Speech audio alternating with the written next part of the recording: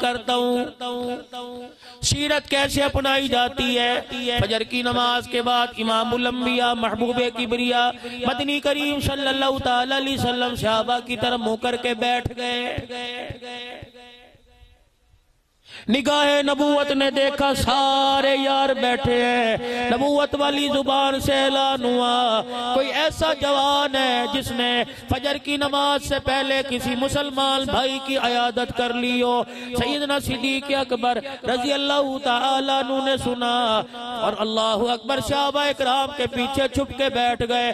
رحمت والے نبی نے دیکھا، ارشاد فرمایا، وہ کوئی اس وجہ سے چھپ رہا ہے کہ اس کے عمل میں ریاکاری نہ آ جائے، بے فکر ہو کے اٹھ جائے، اس کے عمل کی قبولیت کی ضمانت میں محمد دے رہا ہوں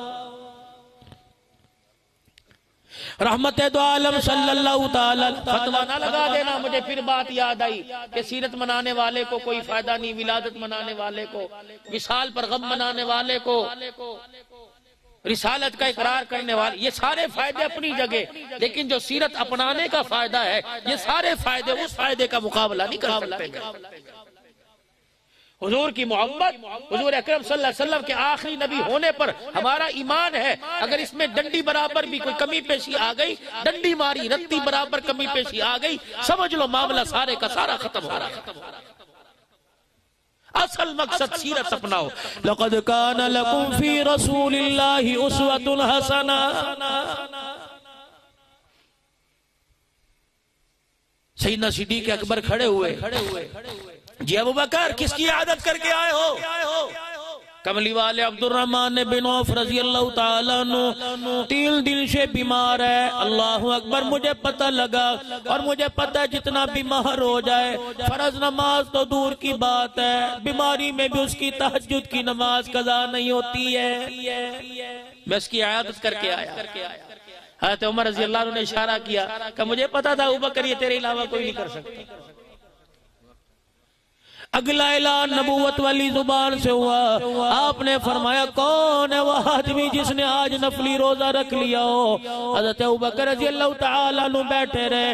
رحمت دو عالم نے دیکھا، مسکرائے۔ اتنے وزرت عمر نے چھلانگ ماری۔ ابو بکر کا کندہ پکڑ کے کھڑا کر دیا۔ ابو بکر کھڑا ہو، مجھے پتہ ہے، یہ کام تیرے علاوہ کوئی نہیں کر سکتا۔ سلام صحابہ۔ ہم ایسے تو صحابہ کے نوکر نہیں نہ بنے۔ سیدنا صدیق اکبر کھڑے ہوئے جی میں نے آج روزہ بھی تفریح رکھا ہے۔ اگلا اعلان نبوت والی زبان سے ہوا۔ امام الانبیاء محبوب کبریا، مدنی کریم صلی اللہ تعالی علیہ وسلم نے ارشاد فرمایا، کون ہے وہ آدمی جس نے فجر کی نماز سے پہلے اللہ کے رستے میں صدقہ بھی کر دیا؟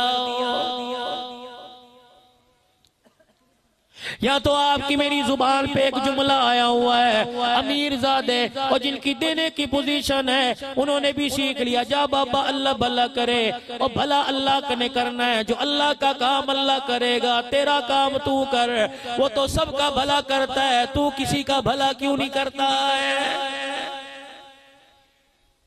دس دس ہزار روزانہ نفع کماتا ہے۔ اگر ہزار روپیہ اس کے رستے میں دے دے تو کیا کمی آئے گی؟ لیکن جتنے امیر زادے، کنجوسی بھی اتنی ہے۔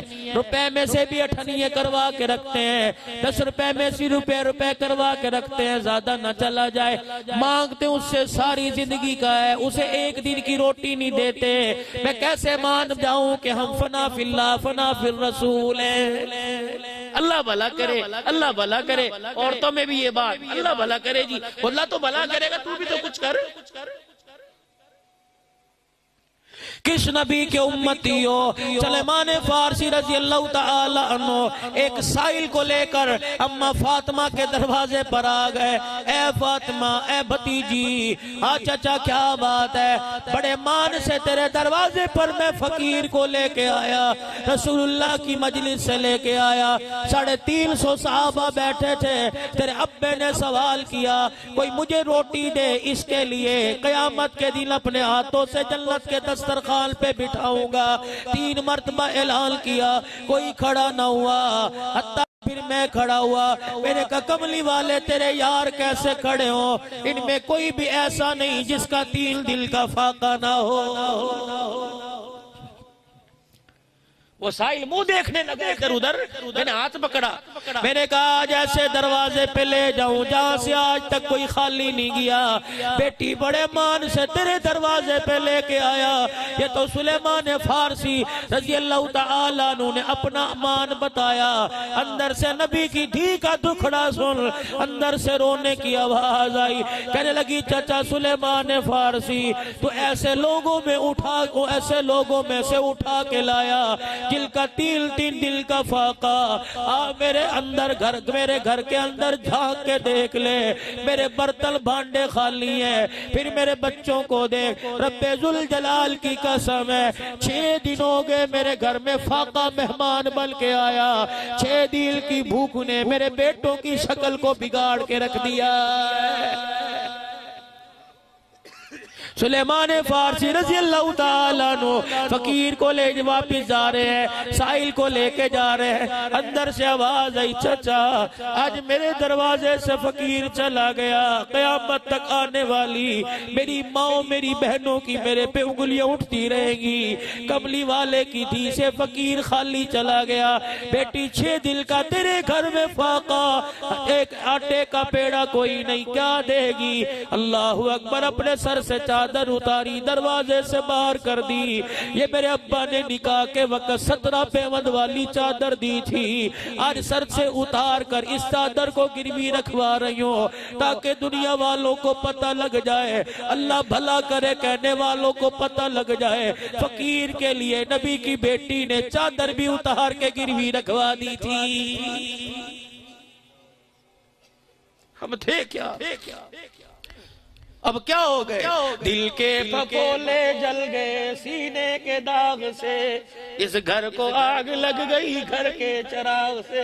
بچے ہی کچھ نہیں مارے ابو بکر کیا؟ صدقہ کیا؟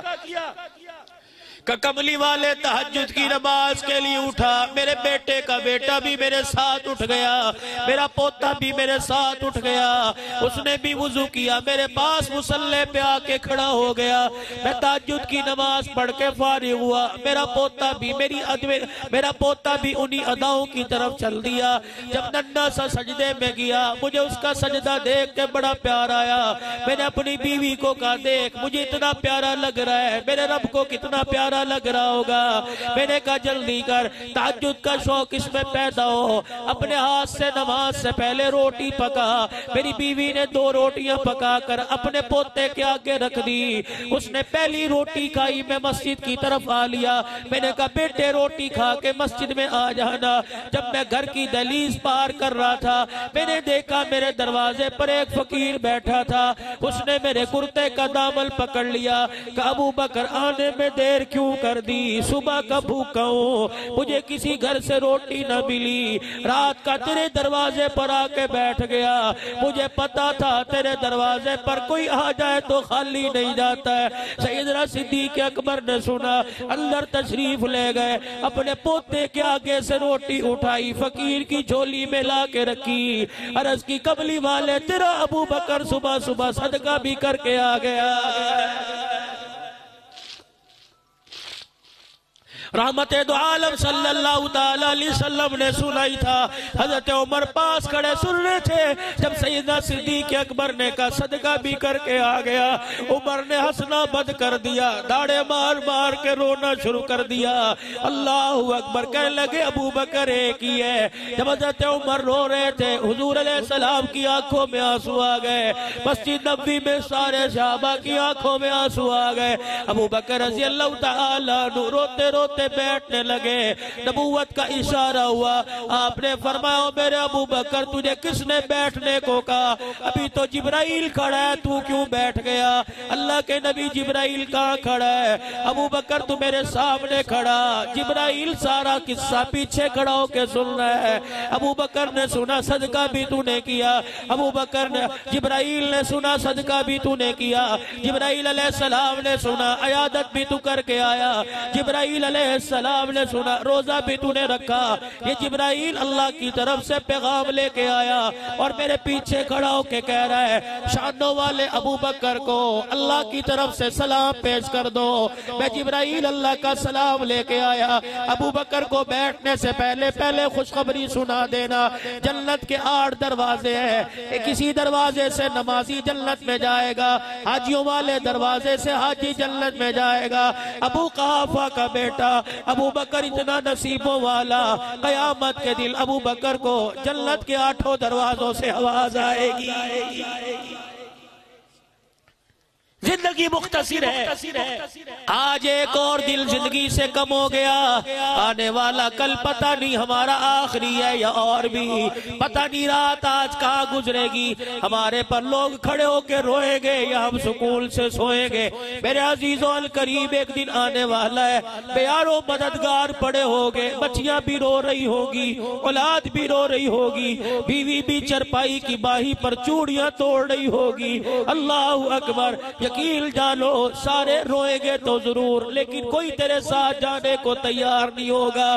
تیرے ساتھ کون جائے گا؟ اپنے بچے کو قرآن پڑھایا، اس کے سینے میں آنے والا قرآن قبر میں جائے گا، نیکی قبر میں جائے گی، چھیرے والی سنت داڑی قبر میں جائے گی۔ میرے عزیزو، تم بے وقوف نہیں ہو، تم بے عقلے نہیں ہو۔ تم سارے کے سارے عقل مند ہو۔ روٹی پانی سے نہیں کھاتے سالل سے کھاتے ہو۔ اور روٹی روٹی پانی کے اندر اتنا انصاف کرتے ہو اور اپنے اور اپنے آقا کی محبت کے درمیان کیوں انصاف نہیں کرتے؟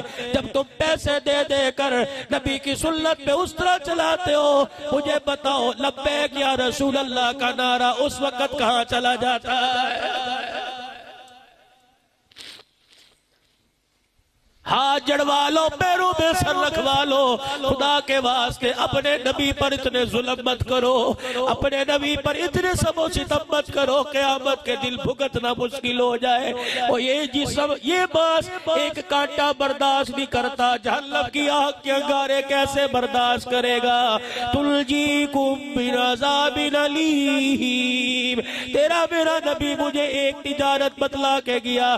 تو بنون باللہ و رسول رسوله وتجاهدون في سبيل الله. اگر اللہ رسول کی محبت سینے میں لے کر اپنے کفن میں لے کے چلا گیا، رب ذوالجلال کی قسم ہے، ادھر موت کا جھٹکا لگے گا، ادھر کان میں آواز آوے گی، ارجعی الى ربی کی راغیت مرغیا فدخلی فی عبادی ودخلی جنتی۔ آجا آجا تو قبر کی مٹی کے حوالے نہیں ہو رہا اغوش رحمت کے حوالے ہو رہا ہے۔ اس حالت میں آ جا، تو اپنے خدا سے راضی، تیرا خدا تیرے سے راضی ہو گیا۔ حضور کے طریقوں کو اپناؤ گے بھائی اسوہ کامل کو اپناؤ گے، آپ کی مبارک زندگی پر عمل کرو گے، گھر گھر حضور کے طریقوں کو لے کے جاؤ گے بھائی۔ رائیویڈ کا اجتماع شروع ہوا ہے، ہم جا نہیں سکے، دعا تو کریں گے۔ اگلا سارا اجتماع کا کوشش کرو گے جانے کی۔ خدا کی قسم جا کے دیکھنا۔ جا کے دیکھنا الیاس کی آس کو اللہ نے کتنے رنگ لگائے ہیں جا کے دیکھنا الیاس کے رونے کو۔ واللہ محمد یوسف صاحب رحمت اللہ علیہ۔ اللہ اکبر فرماتے گھر میں فاقہ آ گیا۔ تیل دن ہو گئے روٹی کا ٹکڑا پیٹ کے اندر نہ گیا۔ حضرت جی الیاس رحمت اللہ علیہ آئے مجھے اس حالت میں دیکھا کہ آٹے والے ڈبے میں نخون سے کھرچ کھرچ کے میں آٹا اکٹھا کرنا تھا۔ ایک مٹھی پیڑا یہاں میرے ہتیلی پہ رکھا۔ حجی رحمت اللہ نے دیکھا بیٹے کیا کر رہا ہے؟ ابا بھوک نے تنگ کیا ولی الیاس سرا نہ گیا کمرے میں گئے مسلح اللہ بچھایا، سجدے میں پڑھ کے رونے لگ گئے۔ پھر اٹھ کے آئے، بیٹے کا ماتھا چوما، فرمایا، آج بھوک برداشت کر لے، اللہ سے وعدہ ہو گیا ہے، آج کے بعد تیرے گھر میں فاقہ کبھی نہیں آئے گا۔ جاؤ الیاس کی آس کو دیکھو۔ حاجی عبدالوہاب کی صورت میں مولا سعد کی صورت میں مولا نظر الرحمن کی صورت میں مولا خرشید کی صورت میں۔ مفتی جبیر صاحب کی جاؤ جا کے دیکھو۔ اللہ نے اس آس کو کیسے رگ لگائے؟ کوشش کرو گے جانے کی بھائی۔ کون کون رائیوٹ جانے کا ارادہ کرتا ہے؟ تم سنلی بل کے نہ جانا تم دیوبندی بل کے نہ جانا اہل حدیث بل کے نہ جانا۔ اگر کوئی جانا چاہتا ہے تو امتی بل کے جائے۔ امتی بل کے کول کول جائے گا بھائی؟ کوشش کرو اللہ جزائے خیر عطا فرمائے۔ چہرے پہ حضور کی سنت سجاؤ۔ اپنے بچوں کو قرآن پاک پڑھاؤ واخر دعوانا الحمدللہ